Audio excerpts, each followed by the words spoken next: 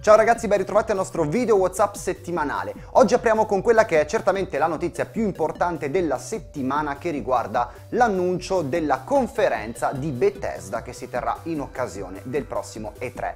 È la prima volta che Bethesda organizza una conferenza in occasione di questo importante appuntamento. Di solito le conferenze sono appannaggio di Sony, Microsoft, Nintendo, alle volte Activision, Electronic Arts sempre, però questa volta tra i player più importanti ci sarà anche Bethesda, quindi ci aspettiamo davvero grandi cose. I nomi sulla bocca di tutti ovviamente sono due, uno è Fallout e l'altro è The Elder Scrolls, quindi ci possiamo attendere qualche novità o dell'uno o dell'altro franchise o perché no di entrambi. Quindi incrociamo le dita, appuntamento a giugno con la conferenza di Bethesda alle 3.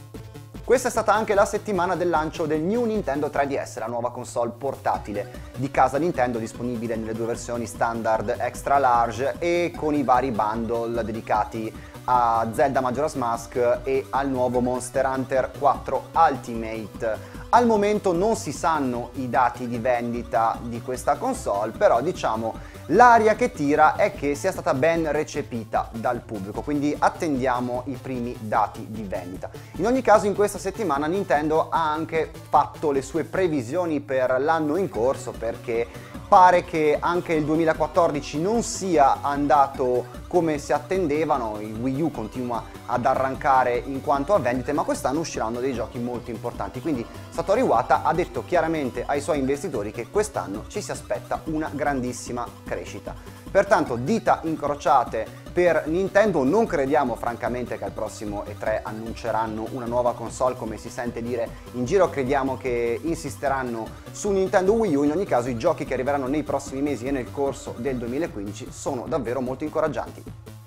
Restiamo in tema Nintendo per parlare di un rumor, un rumor che è emerso negli scorsi giorni e che vede Netflix all'opera per produrre una serie televisiva live action dedicata a The Legend of Zelda. Quindi parliamo di una serie televisiva con attori in carne ed ossa che avrebbe addirittura una storia e un'ambientazione simile a quella di Game of Thrones. Insomma, la notizia ci sembra un po' esagerata, però potrebbe essere possibile che si stia effettivamente pensando a una produzione di questo tipo. Speriamo soltanto che non ottenga gli stessi risultati della serie animata di The Legend of Zelda che era veramente molto molto brutta.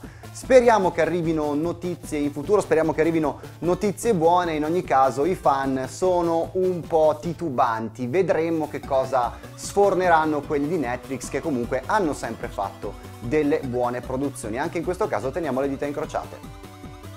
Chiudiamo con una notizia che riguarda Peter Molyneux, lo sviluppatore di titoli come Black and White e Fable, di recente al lavoro su Godus, che pare abbia sospeso lo sviluppo di questo gioco, lasciando a bocca asciutta centinaia di fan che si aspettavano degli importanti aggiornamenti e soprattutto centinaia di persone che avevano già investito dei soldi in questo progetto attraverso la campagna Kickstarter. Insomma, Peter Molino, come spesso è accaduto nella sua storia di sviluppatore, non è in grado di mantenere le promesse, quindi tutto quello che è stato annunciato in fase di finanziamento del progetto non verrà realizzato, ne, realizzata, ne è stata realizzata soltanto una parte. Ad aggiungersi alle figuracce c'è il fatto che in Godus ci sarebbe stato una sorta di re del videogioco che avrebbe addirittura ottenuto delle royalty sul gioco, quindi una percentuale sulle vendite. Un ragazzo di nome Brian che aveva vinto un contest all'interno del precedente gioco di Molino Discovery. Insomma, questo ragazzo, dopo mesi di scambi di email con Peter Molino, non riceverà una lira quindi di conseguenza insomma si è abbastanza arrabbiato, è rimasto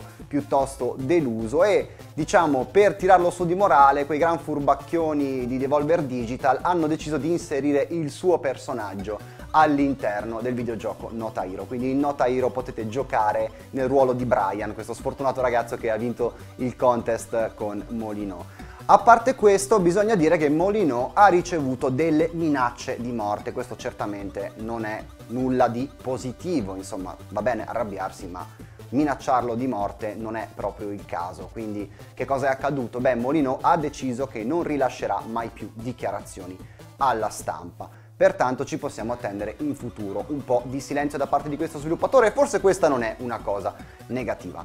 Bene, ho concluso anche questa settimana l'appuntamento con un nuovo WhatsApp come sempre per sabato prossimo.